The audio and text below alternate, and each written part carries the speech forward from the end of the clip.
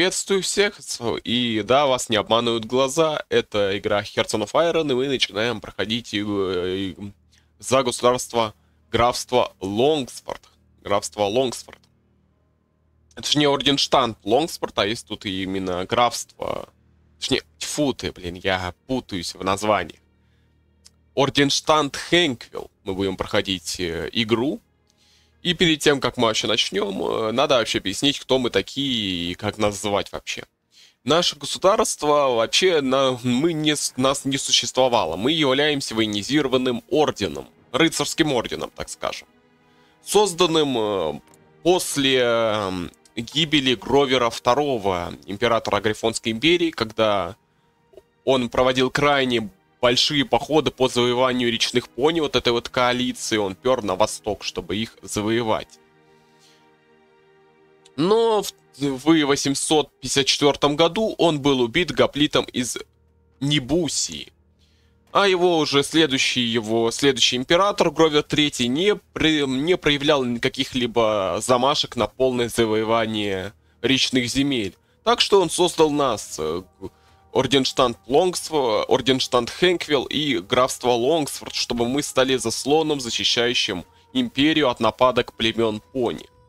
Мы это делали крайне уверенно, и даже э, при участии нашего сейчасшнего лидера Зингфрида Трампенфельда мы организовали крайне успешное вторжение в Алмазные горы и украли богатство этих крайне богатых земель. Ну, алмазы, понятно, это все-таки государство алмазных псов. Но ситуация не была такой прям стабильной и хорошей. Уже в 1907, э, точнее, 978 году произошла революция в империи, и республиканцы в Арамине во главе с Каменским попытались захватить власть и покончить с монархией. И наш э, достопочтенный Зингфрид не решил участвовать в этой бойне, контрреволюционной бойне, и отказался давать присягу императору Гроверу Пятому. Кстати, за это нас крайне недолюбливают. Кстати говоря, за это нас, конечно, ну, недолюбливают за данное действие. И считают нас предателем нашего лидера. Но, конечно, империя устояла. Конечно, отчасти оставшиеся западные, вот, точнее, получается, часть западных земель Грифонии попали под контроль Каменского и социалистов, но нас это, по правде, не интересует. В нашей стране сейчас тоже все неспокойно, так как мы все не можем именно определиться, что делать со страной. Мы все-таки являемся, по факту, мы живем по правилам, э, по правилам еще ордена, древнего ордена. Да и наше государство по факту крайне разделенное на две части. Тут огромное количество земель э, еще заселено пони. Да, конечно, мы проводили тотальную грифонификацию, завозили сюда грифонов. Но пони до сих пор дов очень много, и это нас крайне печалит. И сейчас наше, наше государство стоит на перепутье, какой же путь выбрать либо, понятно-таки, тотальные реформы уже влево, демократизация, становление прям государством полноценным и дарование прав э, населению пони. Есть более нейтраль, нейтралисты во главе... Нейтралисты, монархисты, желающие сохранить статус-кво и не освобождать, не давать прям свободу пони, но и не закабалять их. Ну, есть и другой путь, который, конечно же, мы будем придерживаться, который крайне набирает популярность. Так называемые реформисты или черные плащи в нашем государстве крайне выступают за реформы, только крайне не, ну, негуманные. Я сразу скажу, то, что я буду читать, все это игра, и я осуждаю фашизм, фетишизм, анонизм и все другие измы. Так что, YouTube, пожалуйста, не баньте меня, я все это осуждаю, это все игра. Вот. Они выступают за осчастливливание, осчастливливание части населения нашей страны, а именно пони. Их популярность крайне быстро растет.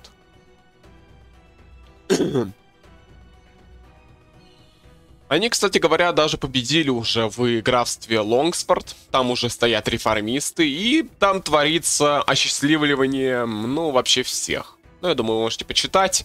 Вот, почитайте, осчастливливание они ведут полным ходом. И вообще нам будет выгодно, если все-таки граф удержится у власти, хотя это очень маловероятно. Чтобы мы получили эти земли вообще без единого выстрела. Но я сомневаюсь, так как победить за них очень тяжело, прям очень. Вот. Ну и посмотрим все-таки, что будет с нашей стороной. Стоит сейчас не исторический фокус, так что будет твориться куча интересностей. Сможем ли мы удержать власть, вообще что станет с империей, это все мы уже узнаем. Ну что ж, вперед. Я буду читать именно ивенты пока что. Но, опять-таки говорю, я буду читать ивенты пока что, но вы потом в комментариях напишите. Если надо, я буду их читать уже за вас, а потом уже я буду их читать, а дальше нарезать эти всплывающие, всплывающие ивенты. Ну, но пока что так. Сокровища Алмазной горы. Ну вот, как я говорил, более 3, 30 лет назад наши благородные рыцари вторглись в земли диких псов Алмазной горы, разграбили всех подземельные, подземные хранилища. Они, эти неразумные звери копили богатство лишь ради богатств, в то время как мы эффективно использовали их последние десятилетия, постепенно повышая уровень жизни населения, улучшая военную промышленность и, и для многого другого. Как бы то ни было, даже насколько огромные сокровища не без... бесконечны. Нас... Даже настолько огромное сокровище не бесконечное, у нас остались лишь малая часть первоначальной суммы, а вероломные собаки объединили силы с речной коалиции, так что даже при всем желании у нас нет никаких шансов положить наши когти на такое сокровище в ближайшее время. Потому нам придется смириться с этим. Внутренний совет Орден согласился с тем, что мы должны использовать имеющиеся сокровища для инвестиций, а не для хранения. Как это делали псы. Советники рекомендуют вложить эти деньги в промышленный сектор, в то время как рыцари разделились во мнении между привлечением поселенцев и вложениями в вооруженные силы. Так, вот, дальше мы будем выбирать, какие бонусы будем получать. Ну, вообще я скажу, нам нужны и, и рекруты, нам нужны и рекруты, и промышленность. Так как скоро мы начнем огромный поход, как говорится, популярность наших дорогих э, реформистов все сильнее, их становится все больше, а они желают продолжения похода на запад. А это значит, что мы будем воевать со всей речной коалицией. Даже если эта речная коалиция потеряет часть членов, я сомневаюсь, что их сила слишком сильно уменьшится, что вы смогли победить. Так что такая дилемма. С одной стороны, да, нам нужны люди, но промышленность-то то нож, тоже нужна, ведь э, люди-то у нас могут быть, все-таки мы можем их накопить, но вот оружие нам получать будет крайне тяжело, и откуда нам их получать? Э, давайте все-таки, я думаю, промышленность. В большинстве своем наши, говорится, советники все-таки победила сторонники сторонники вложения в развитие этих денег в развитие нашей промышленности. Мы ничего делать пока что не можем, даже вермахт не можем улучшить, так что да. Мы пока что сидим, и я думаю, вы понимаете по иконкам, кто это такие, на кого это аллюзия. На очень хороших людей. Так вот.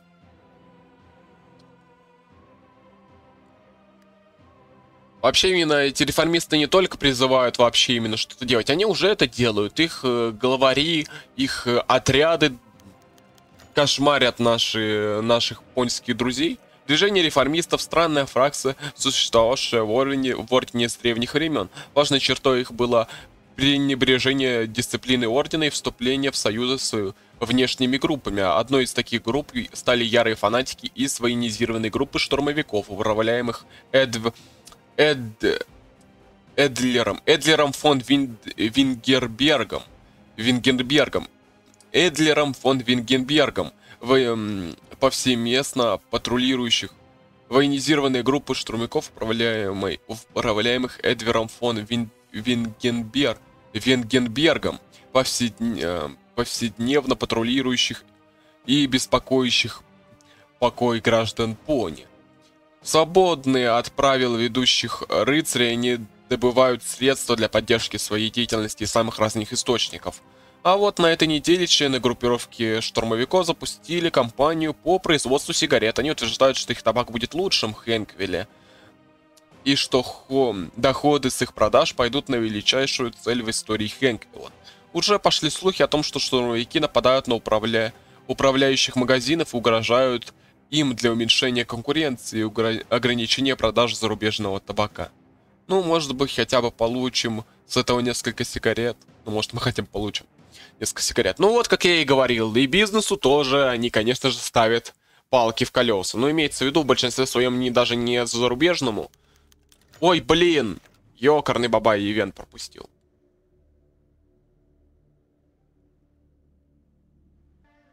Так вот, продолжаем. Вон он. Кальтеменский саммит, можете его почитать, но нам для на это дело нет. Все-таки не наше. А вот он и блудный отец. Весь последний месяц поступают новости о том, что его императорское величество Гровер V устроил тур по имперской железной дороге. Эти новости о великом достижении Грифон... Грифонии инженерии были горько разбавлены отсутствием Хэнквилла в маршрутном листе императора. Годами Хэнквилл запрещ... запрашивал включение его в план постройки железнодорожной системы империи, однако планировщики не сумели включить его в заготовленные планы. Конечно же, они прикрывались аргументами о недостаточной безопасности рабочих Хэнквилля или даже недостаточном участии рыцарей в этом проекте. Однако настоящая причина была ясна. Несмотря на темные, теплые отношения с империей под руководством Гровера V, имперский дворец возмуща, возмущался отказом Тропенфельда от обновления клятвы верности короне. Имперская железная дорога была лишь формой наказания фронтира за это решение. Это разозлило торговцев и рыцарей Хэнквилла, ведь в системе, в систему были включены даже баронство Энгвер и Катеринское княжество, утопающее в бандитизме, бандитизме, лишь усугуб... бандитизме. Лишь усугубило ситуацию то, что уже началась стройка прекрасных станций в Соль... Сольдзау, Сольдау и Хенквиле. И в то время как станция Сольдау уже наладила некоторые связи с имперской системой, он в Хенквиле остается недостроенный даже не... и даже не соединенный. Про нас забыли? Ну да, нас конкретно так э, бросили. Ну вот и наказание за восстание, как говорится. Подняли головы и получили по башке.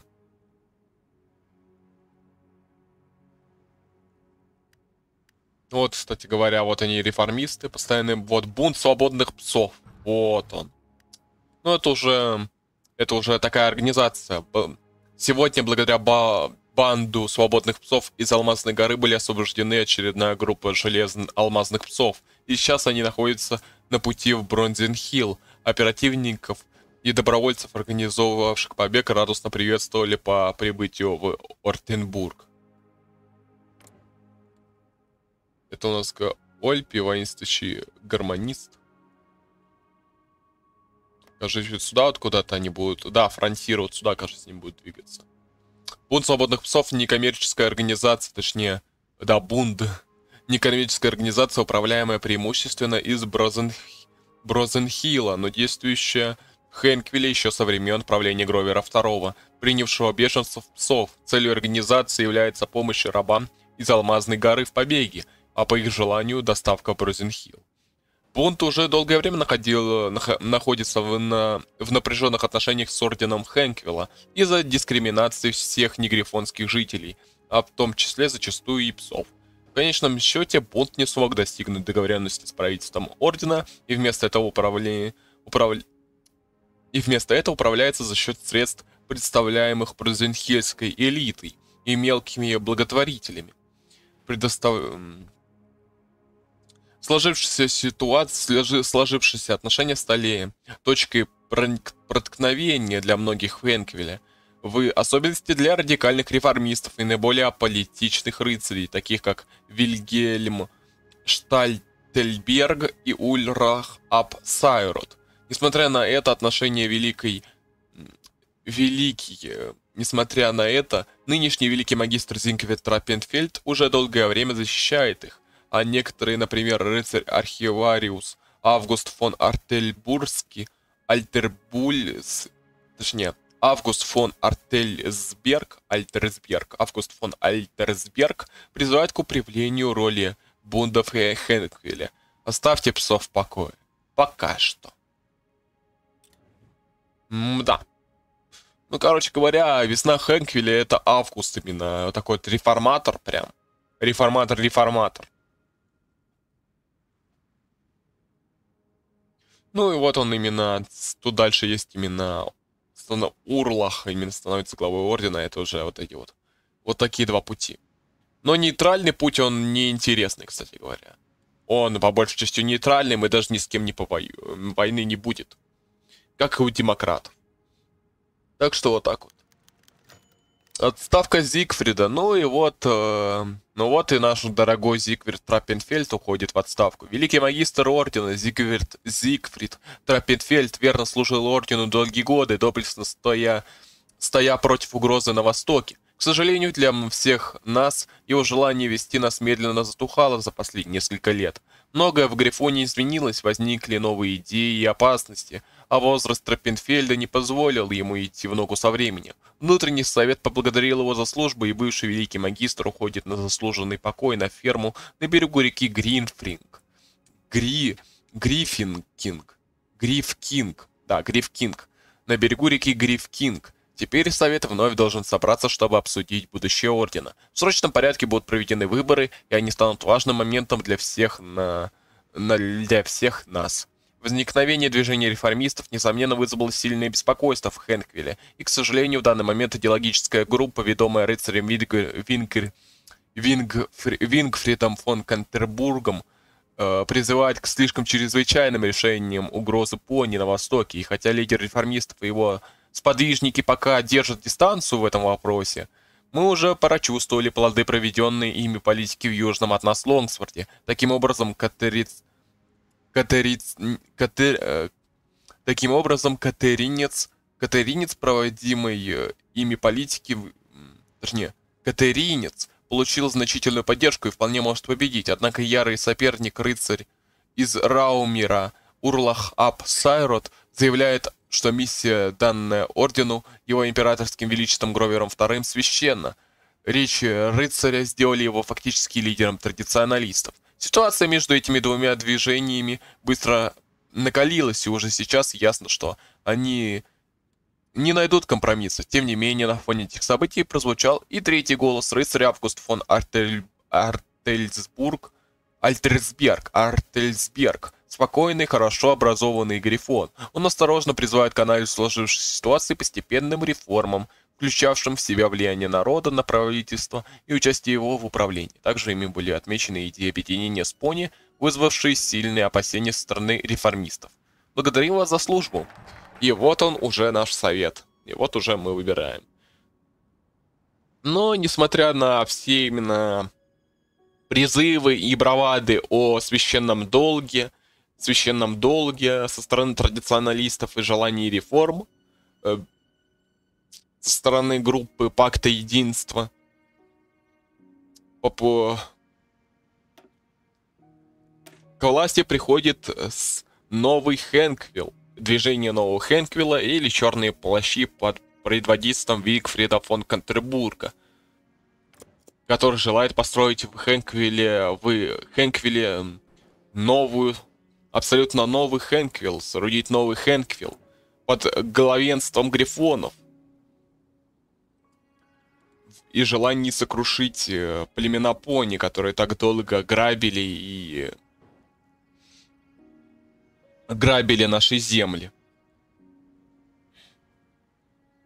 Да и к тому же влияние традиционалистов на нашу политику крайне слабое – также ослаблено влияние традиционалистов тем, что империя всем видом показывает нам свое пренебрежение. Они не видят в нас своих союзников, а лишь, а лишь послушного, непослушного раба, которого хотят приструнить. Но мы докажем им, что мы куда больше, чем просто воинственный орден. Тут вот кредит можно взять. Это народного минус 5, скорость строительства, темп исследований, но это надо будет брать, когда у нас промышленность появится. Ой, вот, назад Хэнквилл. Поступают срочные новости о возврате Эрнста Фиппера из изгнания его в соединении с подпольными ячейками КПХ. Арест Фишер ранее служил в вермахте, где проявлял себя отважным и харизматичным лидером, а также умелым солдатом. К сожалению, он был не согласен с политикой и целями Ордена и назвал их устаревшими и бесполезными. В итоге он дезертировал из армии и покинул страну. Немногим известно о времени его, известно о времени его изгнания, однако его имя часто слышится в речах агитаторов-коммунистов, а также встречается в нескольких захваченных документах. Есть предположение, что юный Грифот получил власть над коммунистической партией Хэнквилла и управлял ею издалека. Его идеология, в отличие от, от обычного представителя коммунистов, предполагает, что анг... а... авангардом являются не рабочие, а крестьяне. Не рабочие крестьяне, а солдаты, которые должны силой усмирить так называемых реакционеров. Нужно внимательно следить за ним. Повстанческое отродье. Ну и, как говорится, это такой тайный путь. Я, как я, как я понял, Народный комитет национального освобождения. Кстати говоря, как я знаю, тут есть шанс его привести, как я понимаю, это секретный путь, но, как говорится, коммунистов мы задавим и предаем. Не будет коммунист... коммунистов, мы не, мы не позволим коммунистам уничтожить нашу великую страну. Завещание дворянина Альберт фон Колодек. Точнее. Альберт фон Клодек, дворянин из Клубничного герцогства, умер на прошедшей неделе, не оставив за собой наследника. Собственной волей он завещал свое имущество ордену Хэнквилл. Это древняя практика, и она считается почетной среди грифонии и знати. Традиционно орден передает особняки в доверенные когти и сдает местным жителям. Со времен революции 1978 года и краха империи многие такие многое такое имущество было приватизировано властями незак... незаконно продано или уничтожено, что достоверно, что доставило ордену немало хлопот. С тех пор число таких завещаний резко сократилось, а вместе с ними и один из источников дохода ордена. Завещание фон Клодека, первое за все 11 11 столетие и великий магистр приказал организовать великую церемонию в честь дворянина в храме Борея в Хэнквилле. Хоро, хорош, хорошая примета, благослови Борея его душу. Кстати говоря, Борея у нас есть, он Архонт Борея. Вот, Архонт Борей, он сейчас находится у Грифонов. Кстати говоря, они его своровали у, как я понял, у Зебр. Вот такой вот африканский континент, так скажем, раздробленный. И как я понял, э, тут такое дело, что этот, э, это принадлежало вообще именно, именно товарищам Зебрам принадлежал этот самый Архонт Баи именно вот этот вот. Вот. Ну и Вингверт становится главой Ордена. Ну что ж, вот оно и настало наше время. Внутренний совет обсудил будущий Хэнквилла, один из исключительный, и один исключительный Грифон превзошел всех остальных кандидатов. Вингрид фон Кантербург, основатель и лидер движения реформистов, был избран лидером Хэнквилла.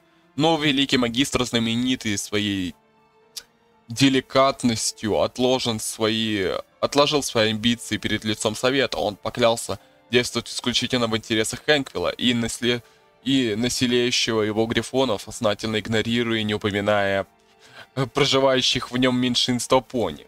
Вингфрид и реформисты славятся своими взглядами на господство грифонов и крайне плохие отношения с пони, считая, что они являются воплощением чистого зла. Ну, это все плохие слова, которые необходимо которое нужно осчастливить, осчастливить во благо всех грифонов. Его речь обозначила резкое отклонение от политики его предшественника, а сам а сам он даже не упоминает э, давнюю миссию, данную ордену императором Гровером II, а также как он... Также... Также как он проигнорировал упоминание места алмазных псов в Ордене. Также реформисты не сумели объяснить произошедшего в Лонгсворде великое, великое осчастливливание, вызванное его идеологическими братьями вместо этого разъяснив их миссию и престиж идеологии за территориями Хэнквилла. Так или иначе, Вингфрид стремится при... превратить Хэнквилл в нечто большее, чем обычный рыцарский орден, в империю, способную противостоять целые тысячелетия. К славе! Ну что ж, а теперь можно департамент экономики дальше брать, чтобы получить эффективность производства. и так далее. Кстати говоря, что у нас с промышленностью? Да, с промышленностью у нас вообще все хорошо. Но для начала нам надо покончить с, э, со всем. Как говорится, Вингрид фон Кантербург, как мы знаем еще, кстати говоря, из его, я в описании тоже почитал, разумеется. Так, во-первых, давай сразу, сразу же, сразу начинаем, конечно же, после прихода к власти, Вингфрид сразу же яростно начинает борьбу против сторонников Старой Гвардии. Многие из них неизвест... по неизвестным причинам пропадают. Данное резкие исчезновения Старой Гвардии и сторонников реформ, э, резкое их пропадание и резкая их пропажа э, станет из, вскоре известно как Ночь Длинных Когтей.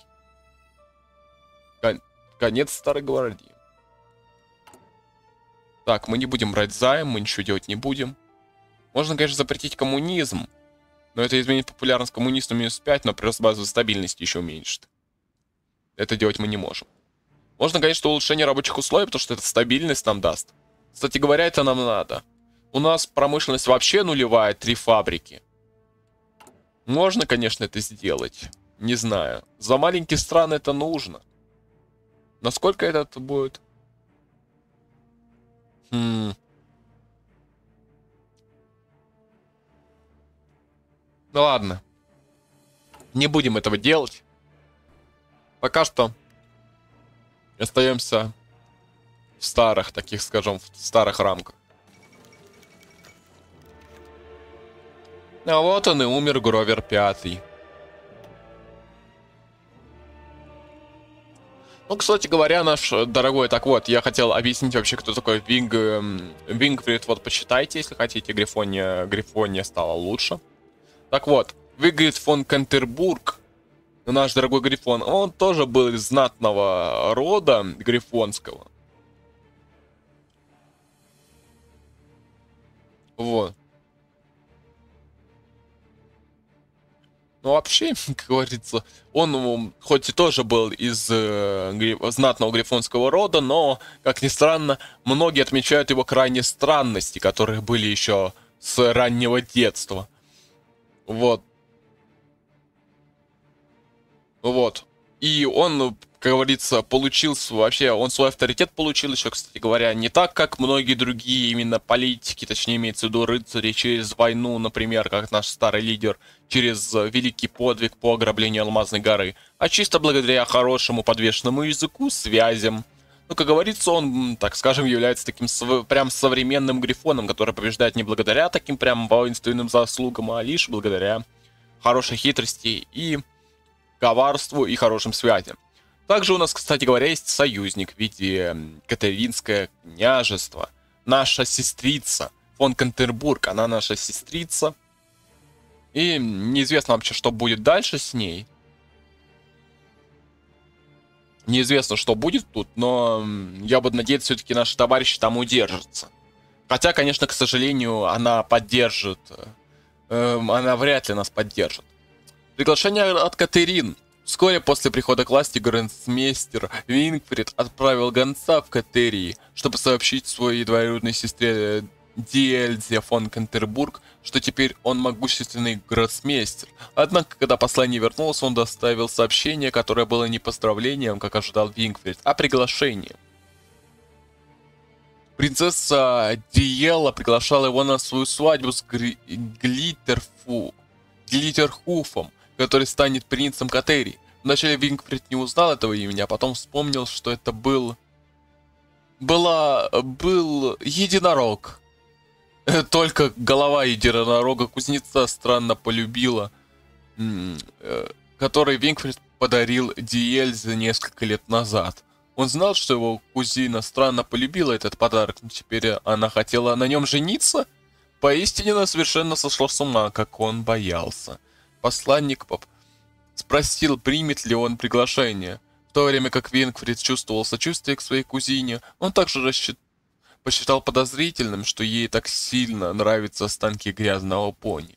Он надеялся, что его кузина не будет слишком расстроена, если он скажет «нет». Вежливо отказать. Ну, к сожалению, но да. Такие вот, вот такие вот родственники у нашего лидера. Очень уравновешенные. Да еще, кстати говоря, эм, ну и такой вот Фингрис фон Кантербург, он такой интересный персонаж. Он еще и лживый, потому что он даже еще, он был, так скажем, как это можно назвать? А Золотороги это уже что-то другое. Не будем это брать. Какая-то гражданская война там происходит, непонятная. Он был... Эм... Ой. Он еще, кстати говоря, еще в детстве дружил с пони, так что, говорится, он не с самого рождения ненавидел пони. Это только со временем у него появилось такое. Так. Пресс-служба инженер пресс власти. Нам это надо, потому что ее мало. Ой, скорость дивизий. Ой, поставщик э, не очень хороших трав, не очень хороших медицинских препаратов. Запрещенных. Ну и по пуле на предателя. Некоторые гроны, похоже, на самом деле считают, что пони в гриф... и грифоны равны. Очень хорошо мы отнесемся к ним так же, как и к пони. Подготовьте э, команду осчастливливания. Осчастливим этих дорогих друзей. Да, сейчас мы покончим со всеми предателями. Избавиться от Урла, Урлаха. Да, загадочное исчезновение.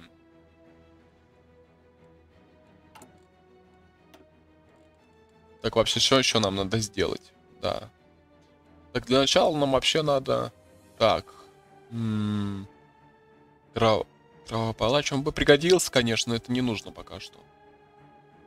Поддержка войны. Давай возьмем сотрудник пресс-службы, урон наносим гарнизоном, ежедневно прирост политвласти, давай хоть возьмем. Пусть побольше политвласти капает пока что.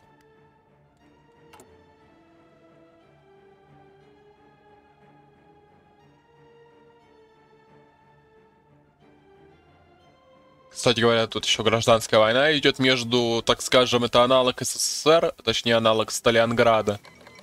Ой, кострийские игры нас не волнуют.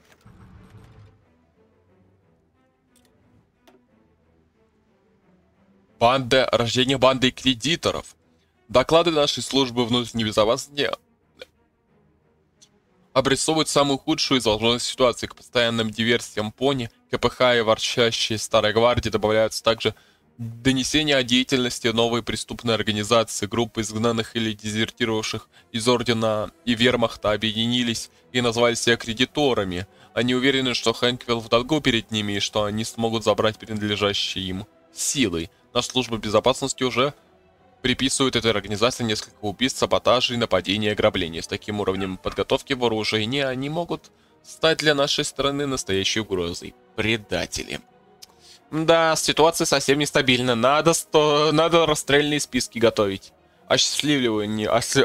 Списки осчастливливаемых... Осли... осчастливливаемых. Ой, а вот она и гражданская война в Лонгспорте. Я, конечно, могу поддержать наших даров товарища, отправив им дивизию, но что-то мне кажется... О, Не, я даже не успею никого отправить, к сожалению. Я никого не успею отправить. Что-то... Блин, что-то быстро наш дорогой товарищ слился. Прям слишком быстро. Ё-моё!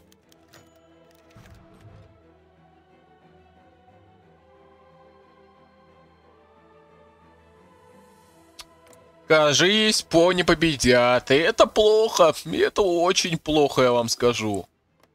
Для нас это очень плохо. Но что поделать. Сигареты ШС марка, про... производимые союзниками штурмовиков, не возымела успеха на рынке курильщики... на рынке. Курильщики Хэнквелла сочли их непривлекательными и слишком низкокачественными. Пошла даже шуточные слухи о том, что сами штурмовики в Тане курят другие марки сигарет, а магазины помогают партизанам грабить и уничтожать их, уничтожать их поставки, чтобы оправдать продажу другого табака. Несмотря на все это, ШС остается главным поставщиком табака из-за политического давления и насильственного воздействия участников движения штурмовиков. Может из-за этого некоторые хотя бы бросят курить. Да, мы прям, мы заботимся о народе. Мы вам будем давать даже, мы будем вам впаривать табак, который даже не только что вредный, но еще и он невкусный. Как говорится, мы государство всеобщего счастья. Так, что нам делать? Надо изучать станки. У нас очень плохие проблемы с исследованиями, так как мы рыцарский орден. И у нас, как говорится, с этим большие проблемы. О, бандиты! Ёкарный бабай, бандиты напали сразу же. По пуле на... Ё-моё, кажись, кажись, правильно трендец. Ну, хорошо, бандиты нам даже будут лучше, чем коммунисты. Как говорится, любой, кто лишь бы не коммунист. Ну что ж, мы берем реформисты в Совете. Вингфрид воспользуется... Вингфрид эм, воспользуется своей властью и включит множество высокопоставленных членов его движения в состав Совета. Сейчас они вряд ли будут выступать против его политики, позволив ему делать все, что потребуется во благо нашей нации. И реформистов правительства, и мы уберем этот дебаф на политическую власть. Наконец-то ежемесячный прирост населения прирост населения, кажется, тоже уменьшится, да? Да, прирост населения плюс 10. Праздник летнего солнца, это все нам не нужно. Военная полиция. Кстати говоря, тоже прирост стабильности.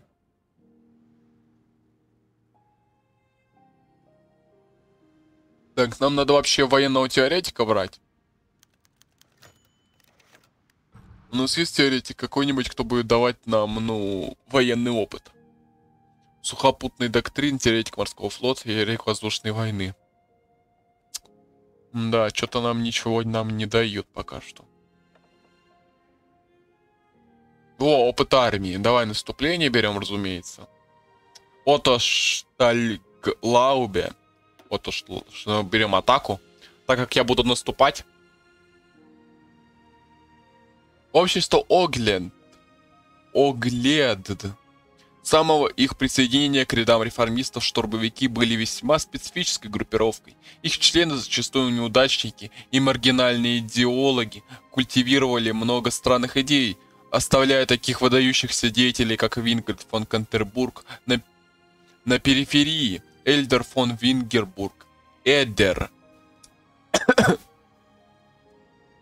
Эдлер, Эдлер фон Винген, Вин, Вингенберг, Вингенберг, Эль, Эдлер фон Вингенберг, лидер штурмовиков, не был исключением. Для тех, кто хорошо знал его, не было ничем удивительного о том, ничего, ничего удивительного в том, что присоединившись к внутреннему кругу ордена Хэнквилла, он начал распространять свои идеи, искать новых членов для одного из своих обществ, общества Оглед. Члены общества Оглет верят, что грифоны не всегда жили в этом мире, а вместо этого коротали столетия в утопическом в утопическом плане в честь коротали столетия в утопическом плане, в честь которого они и назвали общество. Грифоны тогда были выше богов, имели магические способности, могуществе, могущественнее, чем знает этот мир – Однако пони, в частности единороги и аликорны, проникли в их мир и, воспользовавшись щедростью грифонов, изгнали их из него. Некоторые теории также строятся на том, что две принцессы Эквестрии, Селестия и Луна лично участвовали в этом преступлении, оставленные без своего измере... измерения, магия, магии и даже воспоминаний Грифона были брошены в этом мире, где их вновь пытаются прижать, э, принижать и грабить низшие существа. Члены общества уверены, что лишь полное истребление... Тьфу! Тьфу, тьфу, тьфу! Полное осчастливливание вида пони позволит им вновь привести э, в их... Э, произнести в их план и вернуть положение им по праву рождения. Оглед до сих пор остается лишь маргинальной группой среди штурмовиков, и движение реформистов в целом, однако из-за схожестей схожести идеи общества с идеями Вингфрида большинство не против существования. Это нечто. Блин, общество Хельд. Хельд. Это разве... Я думаю, я, кажется, понял, на что это намек.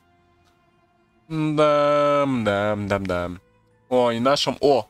Да ну, они что, бить начали, товарищи? Ладно, подожди, надо помочь нашим товарищам. Давайте поможем им, а? Гоу. Так, товарищи, давайте я вам пошлю все-таки добровольца хотя бы одного. Я буду аккуратно действовать, но надо отправить. Давайте отправим рыцарей в бой. В бой, рыцари, в бой. Ставим давайте нашего вот этого товарища. Гоу. Попытаемся помочь нашим послать добровольцев. Гоу. Вперед! Не, мы никого отправить не можем. Ну все. Мы отправляем помощь нашим товарищам. Кстати, надо еще им этот... Э, этот... Э, нет, к сожалению, мы не можем пока что отправить им помощь в виде Аташе. Ну, короче, наш дорогой товарищ, товарищ... Э, дорогой товарищ Вингрид фон Кентербург не забыл своего старого друга и решает ему помочь в борьбе с предателями в рядах его армии и пони, партизанами пони. Реформист в Совете, и теперь нам нужно избавиться от Урлаха. Урлах и его орден – главные враги нашей революции Хэнквилла. Они цепляются за свои традиционные тради... э, драгоценные традиции обязанности по защите империи, но они не видят целую картину. На не осознают угрозы пони, мы придумали, как избавиться от Урлаха. Да, вот и тебе и ночи длинных ножей. Мы избавимся от наших соперников сейчас. Вперед, Вингфрид, вперед! В атаку уничтожь этих пони. О, наша дивизия прибыла. Ой, сейчас мы устроим им. О, гражданская война в Олене, интересно. Да, значит, аналогу кое-какого государства это точно понравится. О, отлично.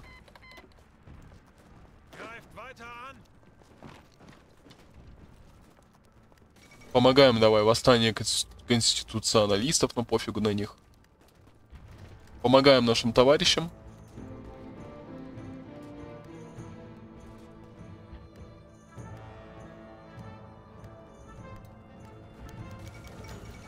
Новая книга Дерингду. Вот. Судья с красным сердцем. Несмотря на статус Хэнквилла как пограничного региона, уже долгое время в Ордене существует традиция честного и серьезного суда, развитого даже более, чем в его бедном соседе Лонгспорте. Традиционно хорошо образованные рыцари абилитировали, продум... Э, разрабатывали продуманные законы и процедуры за мелким исключением того, что юристов из Еля тревожили присутствующие в них архаизмы, такие как легализация дуэльской системы разрешения конфликтов. У реформистов возникло множество проблем с этой системой. Они считали, что его составляли, ее составляли существа, малоосмыслящие в нуждах военного ордена, и воспринимали некоторые законы и процедуры как навязанные рыцарской во... Э, навязыванием рыцарской воли. После прихода к власти Вигрид фон Катербург устроил почти полную переработку судебной системы, поручив это дело сподвижникам движения реформистов, исключив некоторые процедуры, защищавшие пони, алмазных псов и идеологических агитаторов. Судя по, э, судя по имени Лотера Виттер, Виттернехт, судья по имени Лотер Винтерне, э, Вит, Виттернехт открыто выступил против реформ иерархии, иерархии, приказав освободить журналиста, публиковавшего статьи, в которых он выступал против власти фон Кантербурга. Однако журналист уже был казнен, и никто никак не мог понять и разобраться, когда это случилось, и было ли это сделано в обход суда или просто по ошибке. В результате судья попал, э, ушел, подал в отставку и отправил домой письмо о нелегитимности ордена и его решения о присоединении КПХ. главный архи архивист ордена Август фон Артельбусберг, пусть и отказался от присоединения к преступникам, но поддержал критику реформ, продвигаемую коммунистами, заявлявшими, что они были сделаны лишь слишком поспешно и требовал лишь, чтобы ограничить и требовались лишь, чтобы ограничить народ. Великий магистр поставил, постановил, что любая критика необходимых правовых реформ будет караться как контр, контр продуктивная и социально опасная. Скатертью дорожки, скатертью, скатертью дорожки. Ну не скатертью дорога. Ну погнали, давай сейчас. Давай сейчас мы его нафиг додавим. Давайте додавливать будем.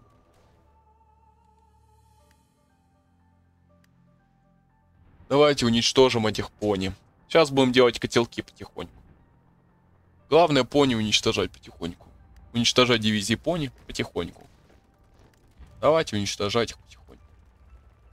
О, да, и минус пони. Минус дивизии пони. Отлично. Минус две дивизии пони. А теперь надо еще вот тут сделать котелок. Надо сейчас и тут котелок сделать. Ой-ой-ой-ой-ой-ой-ой, что-то нас закотлили, это плохо.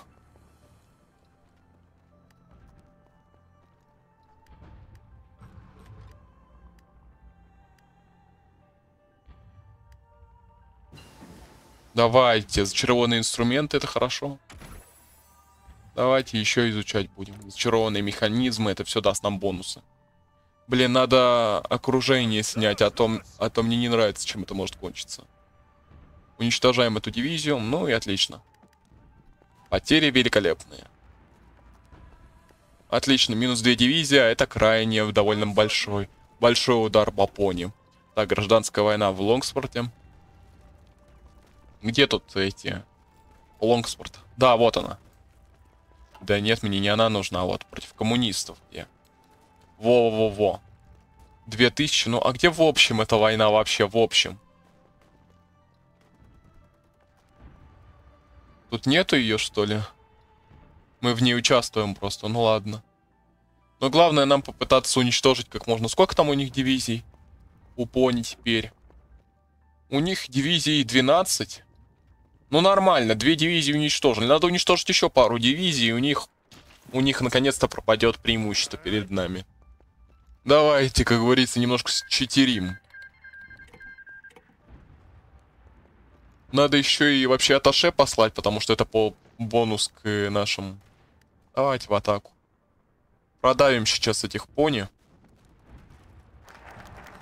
Загадочное исчезновение. А вот, избавиться от урлаха. Так. Ну, кстати, хорош. Давайте секретную службу введем, плюс стабильность. Следя за нашими гражданами и соседями, секретная служба предоставит нам ценную информацию. В конце концов, мы должны всегда быть на чеку. Загадочное исчезновение. Выдвижение... Их надо быть аккуратнее, потому что нашу столицу могут проатаковать. Выдвижение Винкерита фон Кантербурга на пост главы ордена Хэнквилла было спорным делом. Главным среди его оппонентов был Урлах Ап Сайрот, рыцарь из Руймер, Руймера. Глубокий традиционалист по своим убеждениям и достаточно больной на голову Грифон, чтобы откровенно осуждать решение внутреннего совета. Многие чувствовали, что скоро начнется конфликт между ними и новым великим магистром. А и вот в час ночи 8 сентября 1907, 1907 Урлах покинул всю покинул свою твердыню для ежемесячной поездки в гостиницу на берегу реки Гриффинг. Он всегда любил отдыхать там и ловить рыбу, однако в этот раз случилось нечто необычное. Он вернулся из своего отпуска. Хозяин таверны и его помощников опросили... Он не вернулся из своего отпуска. Хозяин таверны и его помощника опросили и они даже подтвердили, что прибытие в гостиницу... Подтвердили его прибытие в гостиницу, однако они не видели, чтобы он покинул ее. Да и его машина все еще стояла неподалеку. После осмотра местности ни единого следа его присутствия не было обнаружено. Не было даже намека на произошедшее. Рыцарь просто испарился. По этому поводу начато, начато расследование, несмотря на сложную непро, непонятную ситуацию, следствие уже выдвинуло выдвинул свои первые предположения о похищении его партизанским, партизанами или бандитами. Как странно. Рост стабильности, нейтралитет. Великолепно. Мы получаем еще плюс стабильность и минус. Так, мы можем отправить, конечно, нашим товарищам бонусы. Ну или что? Что мы можем сделать? Не, нам надо вообще мобилизацию проводить, потому что она нужна бы быстрее. Давайте поможем сейчас. Проатакуем сейчас хорошенько так. Мы пробьемся. Уничтожим этих жалких повстанцев. Просто навсегда. О, отлично, окружили. Просто молодцы. О, подожди, кстати, тогда. Подожди, надо тогда быстрее их окружить. Надо попытаться их сейчас окружить. Давайте попытаемся их окружить поскорее. Давайте сюда пойдем.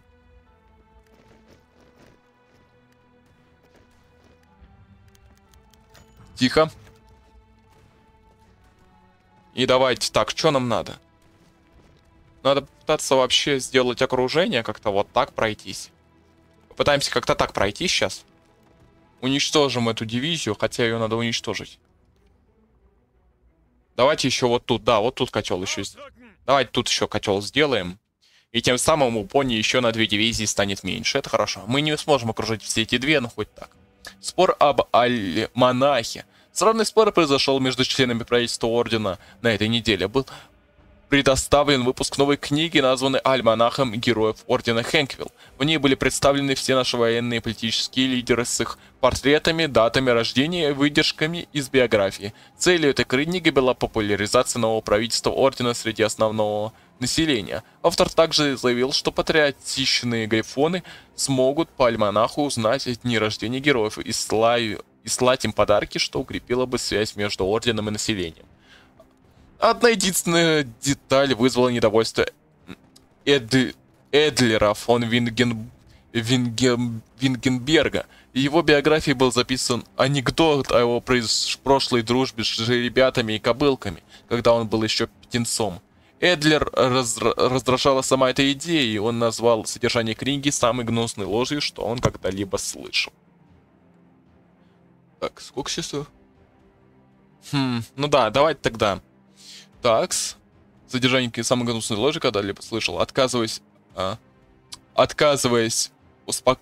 успокоиться, он призвал уничтожить книгу и назвал автора политическим агитатором. В этот момент Дементрус Кампаух... Камп... Кампахаус открыто выступил против Эдлера, заявил, что автор его дворя... двоюродный брат, что его э, верность ордену лежит вне всяких сомнений. Разозлился, разразился яркий спор, и в столовой замка пошли слухи об, об, слухи об обоих грифонах. В конце концов, известия о споре дошли до Вингрид, Вингфрида фон Кантерберге. Он приказал им заткнуть их клювы и допустил книгу к выпуску, исключив из нее этот анекдот. Проклятая книга. Да, короче, такая интересная вещь. Так, давайте окружим сейчас их. Да ну нафиг, вы окружить их должны были. Нахрена? Давайте тогда так сейчас попытаемся сделать. Не остановите вы нас.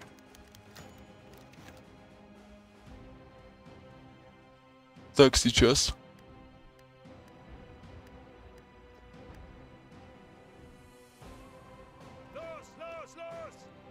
Надо уничтожить вообще эти понские дивизии. Давайте тогда окружение сейчас сделаем. Сейчас столицу возьмем. Кажись, победа все-таки может быть и за нами.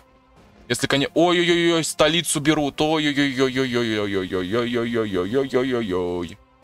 Это плохо, это плохо, это очень плохо. Ладно. Далее мы уже продолжим уже в следующей серии. Этот ивент я пока что оставлю. Посмотрим, что будет дальше. Я очень надеюсь, что мне все-таки получится победить. Надеюсь, что мне все-таки получится победить в этой битве. Ну, пока что ситуация какая-то такая очень двоякая. Хоть пони, конечно, мы сильно ослабили, но я очень боюсь, что нас могут нафиг уничтожить чертовы военные. Хотя сколько у них дивизий? 4-8 против 3-12. Ну, возможно, если мы все-таки уничтожим пони быстрее, если мы быстрее разберемся с пони, победа все-таки будет за нами. И нам надо это делать быстрее, пока у нас еще есть шансы. Нам надо поскорее с ними разобраться, потому что я все-таки хочу, чтобы там победили наши товарищи-реформисты. Надеюсь, вам понравился этот видеоролик, он довольно длинный, даже больше, чем я предполагал. Ну, такой вот будет такой, такой чисто первый такой вот ролик подобный. Надеюсь, вам понравилось, и вы, вам захочется видеть продолжение про наших приключений за э, Вингфрида фон Кантербурга.